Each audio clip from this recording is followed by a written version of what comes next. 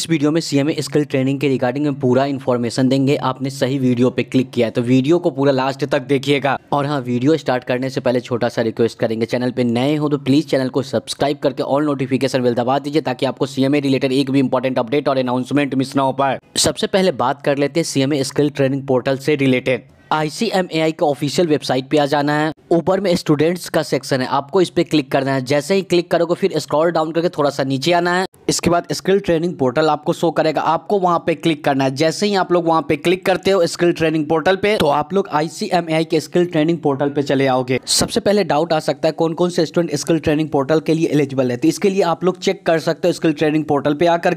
Status को registration number दे करके submit करोगे तो आपके सामने डिटेल आ जाएगा। वैसे आईसीएमआई आपको मेल भी कर देते हैं इसके रिगार्डिंग में। अब ध्यान से बातें को सुन लेना। आपको इसके रिलेटेड मेल आ जाएगा जून 23 स्किल ट्रेनिंग के रिलेटेड उस पर सारा इन्फॉर्मेशन दिया रहेगा। क्वेश्चन आ सकता है, क्या सीएमए फाउंडेशन भी कर सकते? बिल्कुल भी नहीं। सीएमए फाउंडेशन के लिए स्किल ट्रेनिंग नहीं होता। ओनली सीएमए इंटरमीडिएट के लिए होता। वो सिंगल ग्रुप भी दे रहे हैं तो दे सकते हैं स्किल ट्रेनिंग और जो बोथ ग्रुप दे रहे हैं, वो भी दे सकते हैं। देखो बोथ ग्रुप देने वाले के लिए कंपलसरी होता है। जो लोग सिंगल ग्रुप दे रहे हैं तो सिंगल ग्रुप नहीं भी दोगे तो चल जाएगा स्किल ट्रेन वो नेक्स्ट अटेम्प्ट में भी दे सकते हैं। एग्ज़ाम्पल के लिए समझ लेते आप सीएमए का कोई भी एक ग्रुप का एग्ज़ाम दे रहे हो जून 23 में। आप चाहो तो स्किल ट्रेनिंग इस बार दे सकते हो, या अदरवाइज़ चाहो तो जिस बार नेक्स्ट ग्रुप दोगे, उस बार दे लेना। बट आपका ऑलरेडी कोई एक ग्रुप पास है, आप सेकेंड ग्रुप कोई दे रहे हो सी एम इंटरमीडिएट का देन आपके लिए कंपलसरी हो जाएगा। या ऐसा स्टूडेंट जो फ़र्स्ट टाइम भी बोथ ग्रुप का एग्ज़ाम दे रहे हैं, उन स्टूडेंट के लिए स्किल ट्रेनिंग कंपलसरी हो जाता है। और कोई एक भी ग्रुप दे रहे हो सीएमए का देन कंपलसरी नहीं होता, वो स्टूडेंट पे डिपेंड करता है।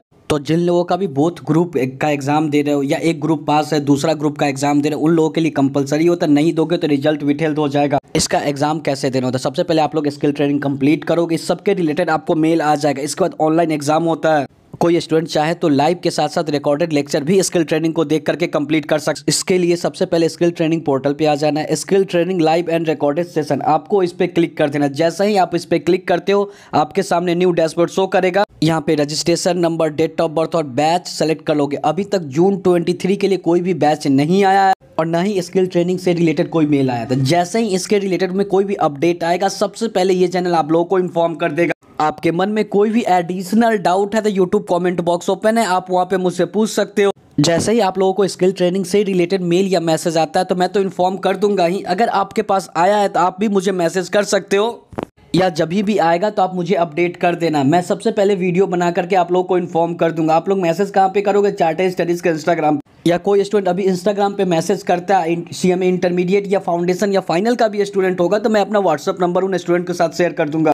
बाकी सीएमए कोर्स के रिलेटेड कोई भी इंपॉर्टेंट अपडेट और अनाउंसमेंट आएगा तो यही चैनल आपको सबसे पहले अपडेट करेगा। तो आप लोग प्लीज़ चैनल को सब्सक्राइब करके ऑल नोटिफिकेशन बेल दबा दीजिए। अभी तक कोई भी करंट में रिसेंट शेड्यूल भी अपडेट नहीं हुआ है CMA exam June 23 skill training से रिलेटेड अभी वेबसाइट पे ओल्ड वाला ही शो कर रहा है। जैसे ही रिसेंट शेड्यूल रिलीज़ होगा, ये चैनल आपको सबसे पहले इन्फॉर्म कर देगा। एक बार फिर से बोले सीएमए फाउंडेशन स्टूडेंट के लिए स्किल ट्रेनिंग नहीं होता इंटरमीडिएट से होता है।